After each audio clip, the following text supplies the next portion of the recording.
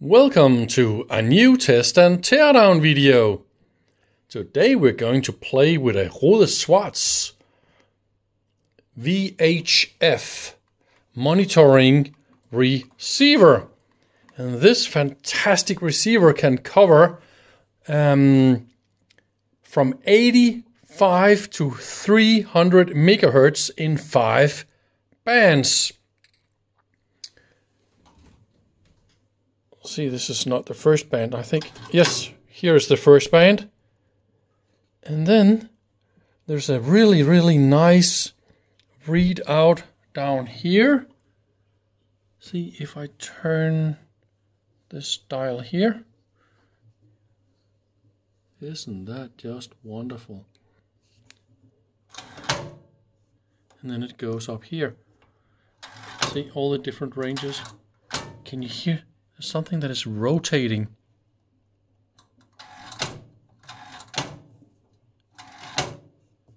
I really don't know what is going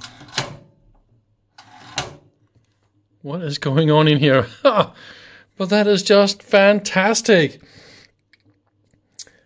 This thing is a good solid half meter, actually more than a half a meter wide it is humongously big. And uh, yes, of course, it is tube based. We got um, 21 tubes in total if you count uh, the three voltage regulators tubes. If you don't do that, you have 18 tubes in this unit. Uh, it's a dual conversion. So um, its uh, first uh, IF is 21.4 megahertz and then we go down to 3.4 megahertz. And uh, yes, uh, I think I already said it can do AM and FM. We got different uh, width of IF, and uh, I got a few problems with this one.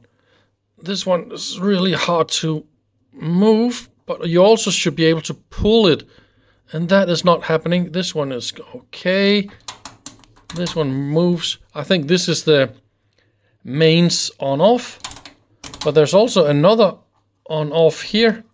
And that has something to do with the second oscillator that you can enable or disable.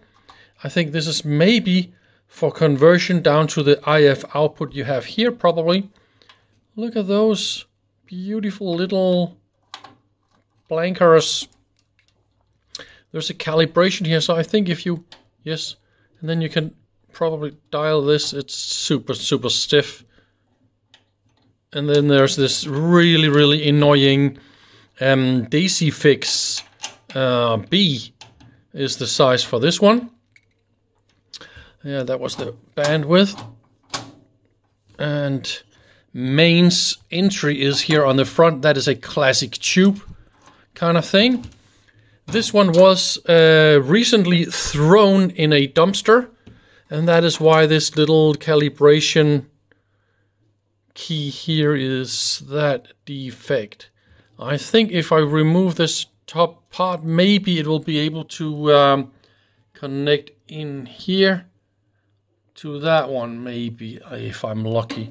And also, maybe you see the missing handle. So that handle here broke off when they threw this in the dumpster. And there isn't really any other damage. This handle here is okay. And I think that that is more or less it. Yeah, okay. There's a little nasty dent here and a little dent here, but that's kind of what there is to say about it. Then I will try and uh, open it and have a look inside for inspection before I try and power it up.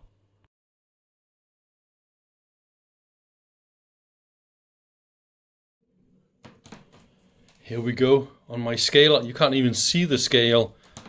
And it says 30.6 kilos. Are you crazy? The empty cabinet is 6.7 kilos alone.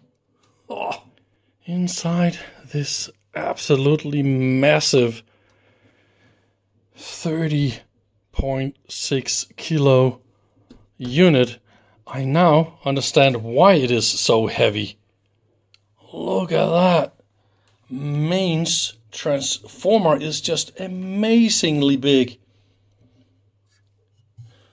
Oh, and then there's another transformer here. Is that audio output? And that will be power supply. Of course, we got voltage reference tube. See, EC80, EC80, that will be double rectifier tubes. So all this is a power supply and we got a mains entry filter down there and really nice. Look at the glass. No expense spared. Loudspeaker mounting in little rubber. It's just beautifully made, really. And we got quite a lot of tubes all over the place. This long piece here at the back, that's of course IF. Got a lot of amplifier tubes along the signal path. And down here, they call this Q2. I believe this is IF oscillator. And that tube is hidden in here. Because that IF output and IF on off calibration here is right there, goes into this unit. I still haven't figured out what that thing here is doing. You can push it and then you can turn it, but then can't do anything when it's out. So I guess you're not supposed to turn it. I think maybe something goes in here and push a little switch or something. So I want to have a... Oh, that was probably not so smart. So there's a little hole here. That one, that sticker was uh, probably hiding something. I was able to clean the switches. So now that will be audio and such. So now everything is moving real nice and smooth with a little bit of Kontakt 61 the Wonder Fluid. So here from the rear, we can see it's a really nice big tuner here, and this is where stuff turns around. And I do hear some mechanical things. A lot of stuff is moving in here as well, so I bet we got some sticks and switches and stuff that's moving around. A nice little marking here with 134. And there's another transformer right there. So obviously you can see all that heavy metal. Not that kind of heavy metal, but just transformers. And uh, the fuses. No, this is probably not the fuse. This is uh, just a shorting plug for selecting the different uh, voltages. We got uh, fuses on the front.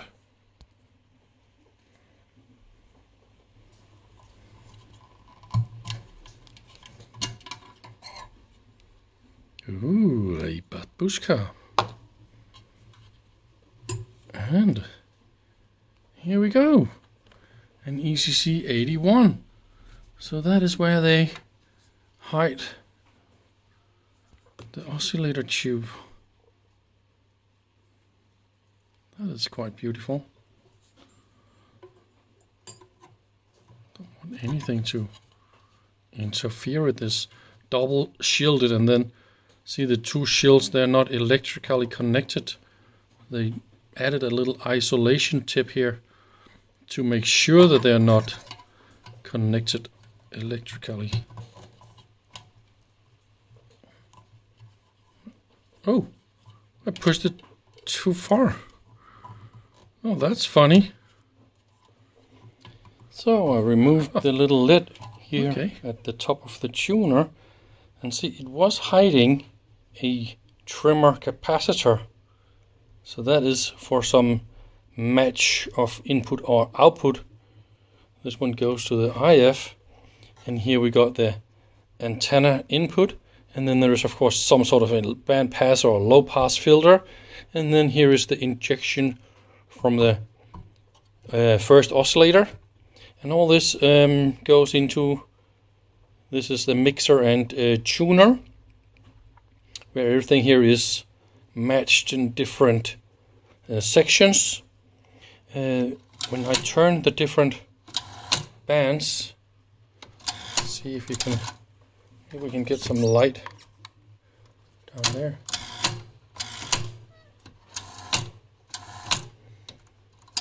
You can definitely see a lot of stuff is turning around.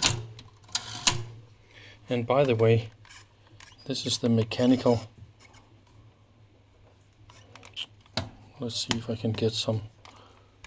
How impossible is that? Look. So I wind up a spring or something down there. See? And then it goes.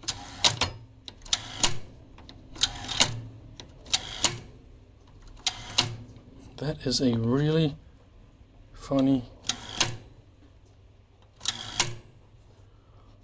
If you see, oh yeah, here you can see. This is what I. There's a spring and then, oops, and then it goes. Fantastic system. And that will be the calibration. See, I remove this metal and now you can stick this in and turn this. Not the most uh, beautiful solution, but yeah, I don't know. Why is it like this?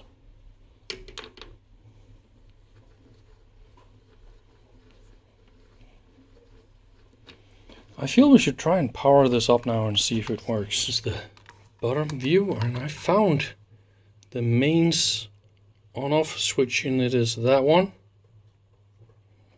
See when I move this one. So there's a nice connection to the on off switch and then it leaves it and then you got the AM FM and then tick tock. Quite nice mechanical solution to save a switch on the front. It's like holes in the front cost money or taxes or something like that. It was always like this in the good old days. So this is uh, the bottom shield is now removed. And here's the IF section. Look at that. The shaft that goes to the IF bandwidth setting here at the front. Look how it is coupled. Some quarter-sized spur gear. And then it goes in here. And it's pulling something in and out here. I really want to open the IF section and have a look. I think we should do that. You're gonna love this. So this is of course the entire IF section. And again, remember what we were playing around with here. So when I'm changing IF bandwidth, see what's going on here?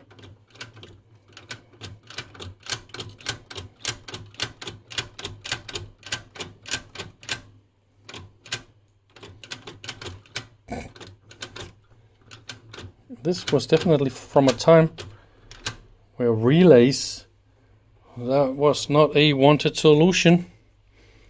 You could have added tiny little relays and then... But probably this will last a lot longer, I don't know. and then there was another inner shield here that I lifted up. And this one also screw to this silvered... Ooh. That can't be good. This did somebody did something implode in here. So that is what I'm gonna look for. Maybe something was very warm or too warm. This could explain why this one was thrown out. Well, well, I will have to inspect. And by the way, those two screws through these holes and then they fell down here somewhere so it's not going to be easy to figure that out again. I am not done having a good time just enjoying the way that stuff is designed. So this is of course power entry and signal entry uh, with the connectors into the entire R IF section and you can see this section here is full of filter inductors and then feed through capacitors. That's all these feed through to all the different rooms that's doing different things right? Just enjoy how well everything is engineered. That will be a crystal oscillator. And it's just fantastic with all the feed throughs and capacitors and it just goes again here. And this inductor is not just hanging loose or no no. It's just made proper extra isolation and then a little mounting and then it's just look how well this is made. The patience and the engineering. Got a few diodes there OA265 and there's another one down there. It's so dark down here. I'm sorry about that. Yeah I really I really think this is beautiful. Of course there's there are no circuit boards and everything here was done by hand and that will be a lot of hours spent Look at that big capacitor. They just made it fit exactly where you had space. I also like the fact that some potentiometers for alignment and trimming of stuff, they are accessible only from the back because we got transformers and stuff up here so you can't make holes or access. And then you got some other you access from the top because then you just can't really mount it. Here it's not so good because of that one. And they didn't want to have wires from this point all the way over here and mount some more. And it's just... Ah, I love it. Uh, okay, maybe I don't envy the guys that, that are making these things. It's a little bit easier today with a circuit board. You just order and then easy peasy, here you go thousand components in five minutes, but that's just how it is. Yeah. I'm having a big fight with this switch, by the way. It is, well, at least it's moving, but I'm trying to flush in some cleaning here, but it's still, I need to more or less stand on it to make it move. So that's a little bit annoying. Those are filters, um, DC entry or low frequency entry. They consist of um, capacitors, inductors, capacitors, and inductors like that, and they're even labeled so you can see how it's done. And the way that they are layered and connected to chassis and uh, the way, yeah, it's just, they really, really work from DC to daylight. Super, super uh, wide range uh, filter very, very good uh, design. And they, they're using these all over the place in uh, Rohde Schwarz's uh, products because that was just a genius thing they came up with.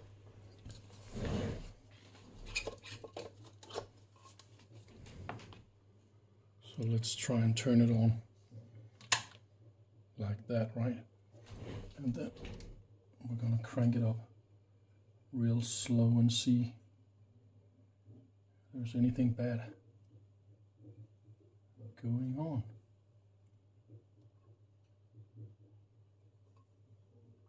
I see light and all good things. So that is 220.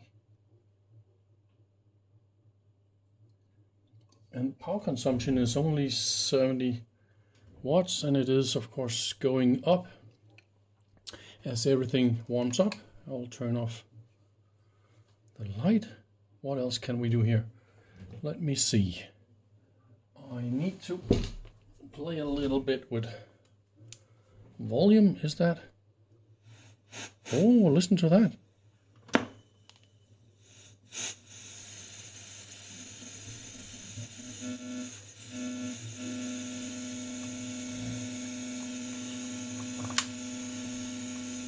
Hmm. What is that?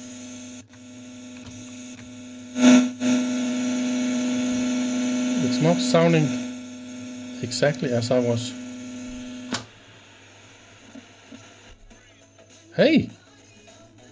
We got music!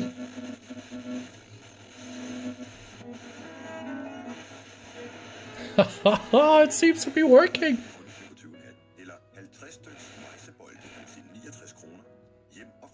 Here you go! What the heck? års fødselsdag, og What? du kan som altid gøre en god handel. Hvad var det så? Smart, bæredygtigt, klimaneutral køkken til en uimodståelig pris. Vordingborg Køkkenet. Luksus, alle har råd. Wow, man. Oh, that's the width. It's definitely FM. Listen. It works. So we got ourselves. Oh. There's a nice, powerful audio here. And then that is, of course, the headphones. You switch between the... Yeah. Nice. I'm quite happy that it really works. oh, yoy, yoy. And all those beautiful, beautiful tubes. We should probably dim the light here, like that. So we can really see all this shiny. Well, it's only the power supply tubes we can see from here. There's a lot of power in that bulb for the scale. So, uh, yeah, lucky, lucky us. Let's see if I can show you this. Can you see there's a little red marker here? See, this is the tuning. So there's a little problem with this switch here, by the way. But that is the indicator.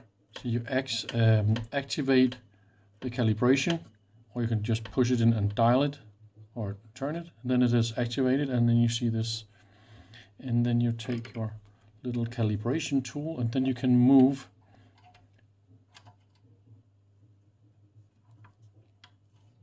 I don't know, let's get some now you can hear what's going on, right? See? See? And now it's now the signal is gone and then you can get it back up. And then you dial it in for maximum and then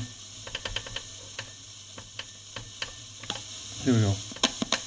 And then it's turned off. There's a little bit of a contact problem with that one, but that is how it is and we got this little red indicator here in each of the bands and then you can tune around and hear all sorts of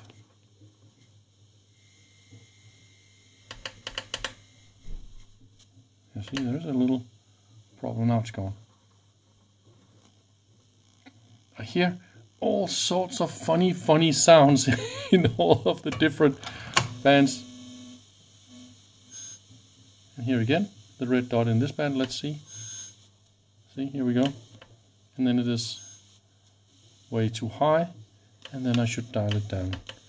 And then it should be accurate because I believe the injection here is generated by a crystal oscillator, right? And then it's just multiplied to add to exactly that point. Um, there's another little thing that I see here that is not working, and that is the tuning indicator. When I find an uh, like a radio station and then I tune up and down here, then I don't get any indication here. So I will check if it is the meter or if there's a signal missing. I also see this is quite blurry. I don't know if it's visible on the video. Yes, you can see it is probably quite dirty on the inside. So I'll see if I can Maybe I can take out the glass uh, by loosening these two um, screws and then I will see if I can get a nice clean picture. That was a little bit annoying. Those two screws, I just take, take out the entire instrument and then I will see if I can clean the glass.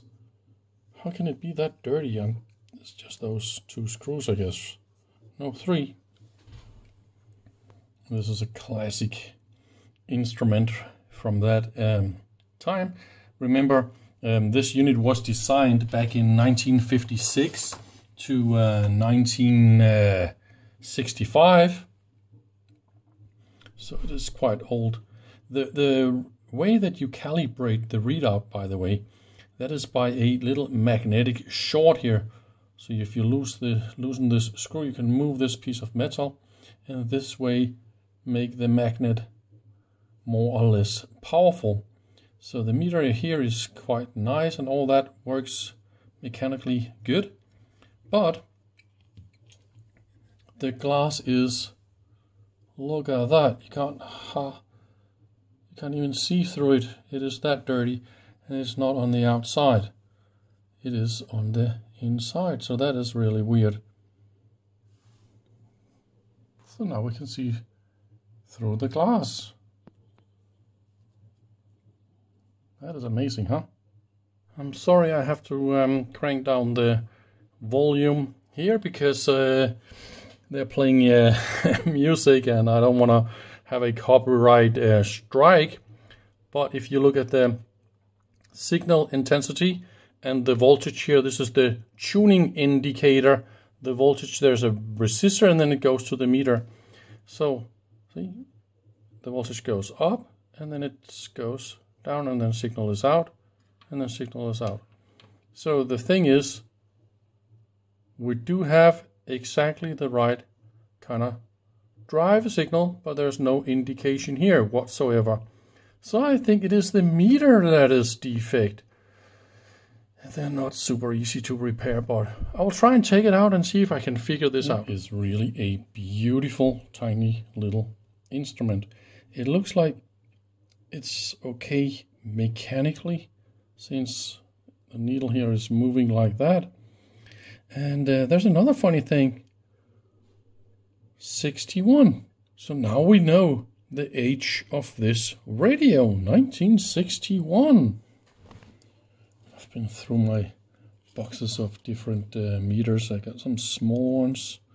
And uh, the coil and the whole meter unit in this one is more or less the same as in this one. And I tried to look at the KM48 and the meter unit in this one is way too big. I got some other units like this one is not going to work.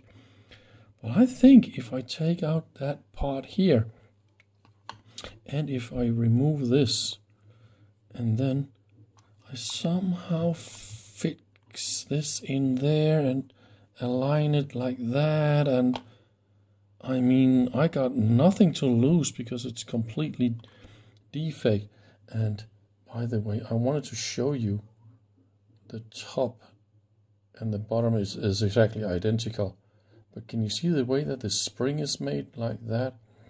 And the funny thing is the coil is hinged in the middle down to the magnet, and that is very, very rare.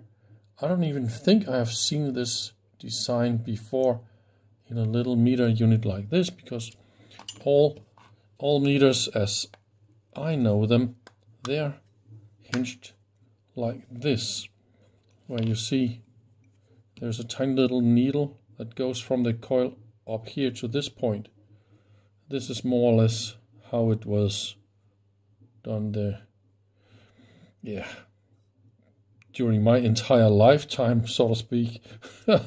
so yeah, I've never seen anything like this design before. And the funny thing, I've tried to measure the connections all the way into the meter, and it does go via the two springs all the way to the uh, to the coil, but it's just the coil itself that is open so there's absolutely no way in this life I will be able to fix it. There's only replace it. Just too bad.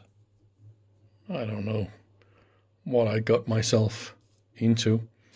So that's the original one that is completely broken. And uh, the reason why I took all this apart is because I need those little mechanical standoffs. I want to mount them here and I want to put these pieces of metal up here. This is holding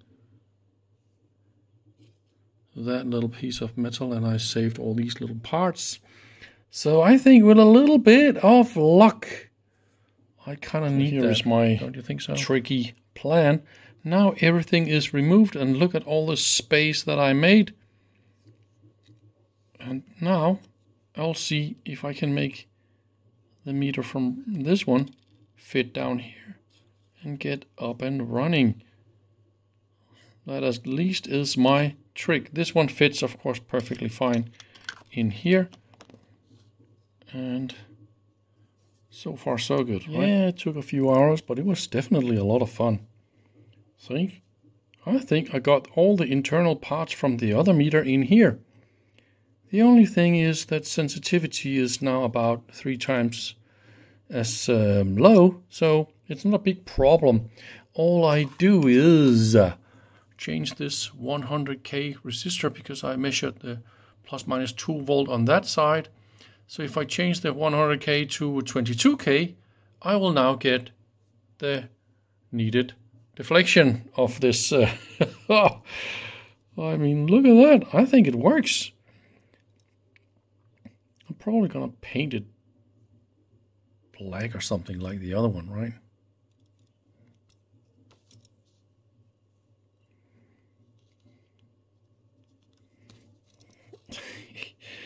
I'm actually a little bit proud of this. But yeah, let's see if it works. So I think I'm done for today.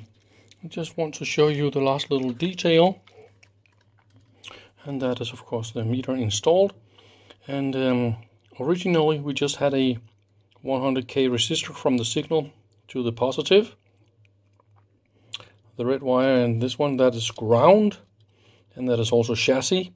So what I've done is I'll take a scaling resistor here, two diodes that's opposite way, and then another scaling resistor for a full scale and for the full voltage here. So all this together makes a um, protection against hammering the meter um, to both sides.